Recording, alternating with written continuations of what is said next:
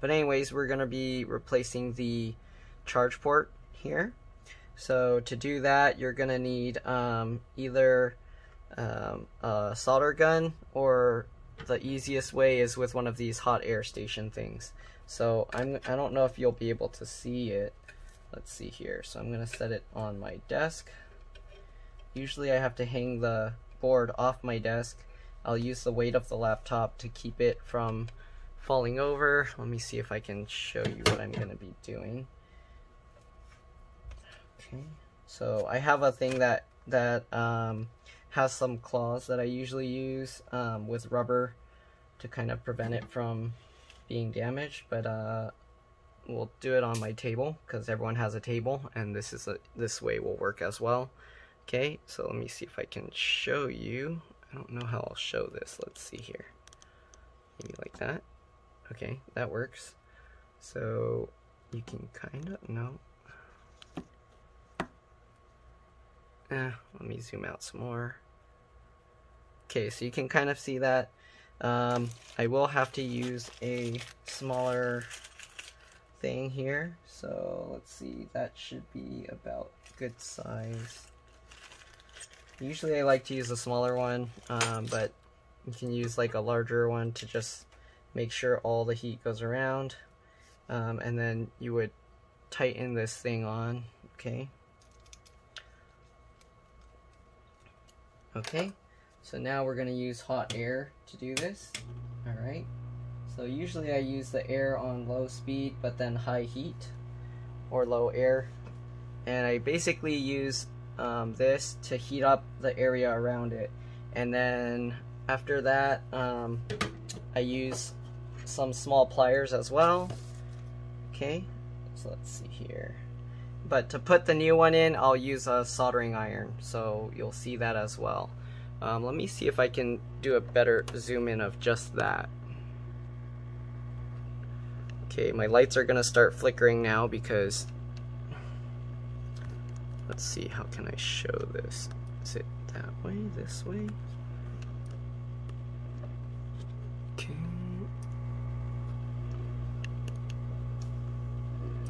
Hopefully you can see, okay, there you go. Uh, what's that wire? Is that this? The hose from, okay, so that's the hose from this thing. But anyways, um, you heat it up. Oh, my hand's gonna be in the way. But you just heat this up. This uh, Kapton tape on top is gonna melt, but um, can't really help that. So you just heat this up. You can turn the air higher if you want.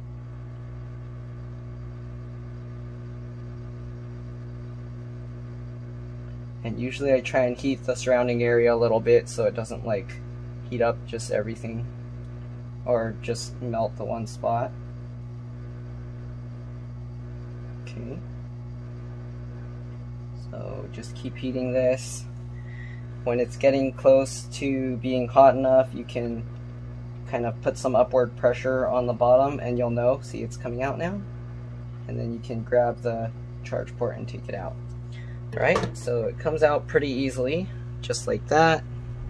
Then you take the replacement one. Okay, usually the solder will kind of melt and be in the way, so it's kind of gonna be a pain, so you gotta like heat this up. Usually I won't do it this way because um, uh, doing with this, it's not as good. So what I'll do is I'll use the air and turn it kind of high and then try and blow the solder out.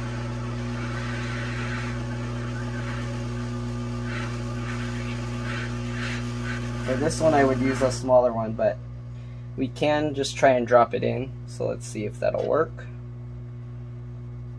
Now it's really warm put the thing there. Try and heat it up. Use the pliers to push it back down. Oops. You don't want to touch this with your bare hands, of course.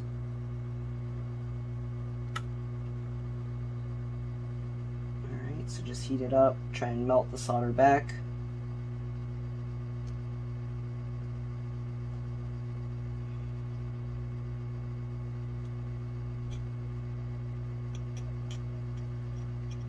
Okay, so the solder melted, and there we go. Feels like it dropped in place. So now that dropped in place, you can stop heating it. Turn this off.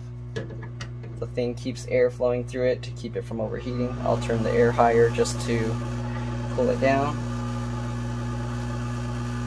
Alright, so now we got the part replaced already. It's, already, it's still hot actually. so be careful, let it cool down. Okay, so that's how you would do that. It cools down somewhat quickly, but it takes it does still take a while. So you want to wait, give it about 5-10 minutes. Um, I will um, add some solder to here because the old one will actually pull some of the solder away. So I don't know if you want to see or if you can. So this one, they actually looks like they, let's see if I can show, they broke the tip off of the, it's kind of, there we go. So they broke the tip of the charger off inside, it looks like. Um, but yeah, some of the solder gets stuck on these pins and so I usually have to add new solder. Um, the hot air is not really good for adding new solder, so what I do is I use a solder iron for this. Okay, so let me grab a soldering iron. In the soldering iron, you'll have like this sponge thing, so you have to add some water to that. Alright, this allows you to clean off the bad solder.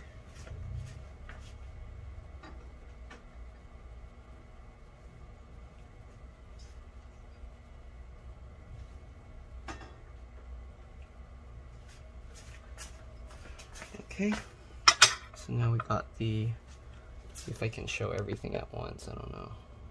Where's that? There. Okay.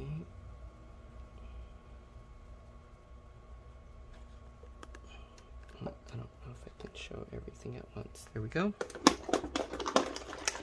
Alright, so Maybe I'll just say Lenovo laptop DC jack replacement soldering or something. I don't know. Because it's not specific to this model. Well, the rest is, so we'll leave it. I'll find the title. Alright, so I'll use the soldering iron.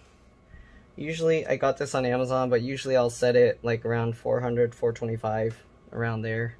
That's uh, Celsius, I believe. Um, Alright, so we got this. I don't know if you can even see it. All right, so I'll do that. And to make this easier, um, the trick is you get a thing of flux. There's all different kinds of flux you can use. Um, so I've seen some people use a paste one. That's probably the easiest where it's like in a syringe. But um, I'll just use this stuff where I use a little stick and I just apply it where I need it you don't really need too much. Um, so from my understanding, what the flux does is it helps burn off um, corrosion from the, or oxidation from the parts so that the solder can stick better. Um, normally the flux that you buy, it comes with, uh, or the solder that you buy has flux built in. Um, but as you burn it, it burns off really quick. So what I found, um, this makes this is what makes it way easier. So um, it's kind of dangerous to kind of do this over the board. So usually you want to do it off to the side, but um, so I'll do it over here. Um, but what you do um, that will make it way easier. Normally what you do is you heat up the area and then you push the, the solder um, onto the area. I don't know if you can even see what I'm doing, but normally you'll heat up the area and then push the solder onto the area. But because I put flux already on there, what you can do instead is you can put the flux on the soldering iron like this. And then when you touch the soldering, the melted solder to that, the solder will actually flow onto there. So it makes it so much easier. Oh, I didn't put enough. So let's add more. I'm probably teaching bad soldering habits, but I mean, it works a lot easier. So if you wanted the tricks, that's the trick. Oh, this one, it looks like the solder leg here is not holding. Oh, okay, it's not hot enough. There we go. I have to heat it more. There we go. So you just heat it up and it all flows in place. Okay, so that's what I found works um, a lot better is these are like cheats. You put the, the flux onto the surface. Okay, so I probably set this too high. I'm going to set it a little lower, so I'll set it to like 400 because it's oxidizing the tip of my soldering iron way too fast. Okay, so like I said, you just put a bit of solder onto the soldering iron. Alright, and then you just touch it where you want the solder to go hold it there so that it gets hot enough to melt and flow. And there you go. Then you got a good solder joint. Okay, so that's what I found works the best. Um, and if you do still want to add more, you can do it the original way. Once you get some solder in there, it allows the heat transfer easier to where you want it, and then you can do it that way, okay? Alright, so if you're if the area is small enough you can do it this way but again see it's like really difficult so it's easier you add some solder to this. Again don't do it over the board because you don't want to drip the solder onto it. And then just put touch the melted solder where you want it to go.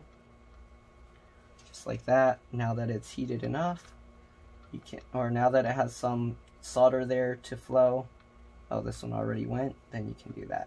All right and you got these little pins here as well so you can do that. All right.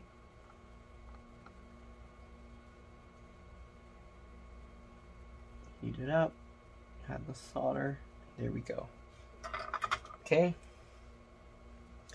And usually you want some good ventilation to blow the stuff away so you don't breathe it in. Um, I don't have one. I just blow blow at the smoke while it's going. Um, but there you go. So yeah, if you want, you can solder on the other side too, but they don't, um, from the factory, they don't even do that. They just solder from this one side. So yeah. And then to clean off this extra flux, um, you just use some rubbing alcohol and and a paper towel. Uh-oh, it's overheated, my phone. Alright, so like I was saying, um, before I got cut off because my phone got too hot again. Uh, new phone, I don't know, it gets hot too easily. I might have to maybe change the setting that I record at so it's not as nice. Um, we'll see. Alright, but anyways, as I was saying, there's the leftover flux there, and you want to clean it off. You don't want to leave all that gross stuff there. Okay, so, so what you do is you get a paper or paper towel or napkin and then you just put um I have this thing that sprays uh, rubbing alcohol so I'll just use that put some rubbing alcohol in there and then I'll just wipe this off okay alright so just wipe it with the rubbing alcohol and you'll see all that brown stuff will disappear okay you might have to use multiple times because the paper will get dirty and then you gotta kind of fold it over use the other side and then wipe it up some more. Alright. So you can do this with a soldering iron as well if you don't have a, the hot air station's kind of quite a bit more expensive. So if you want, you can do this with a soldering iron. You'll just have to slowly like heat each side and slowly lift it out since you can't heat the whole thing out at the same time. Okay, so just like that.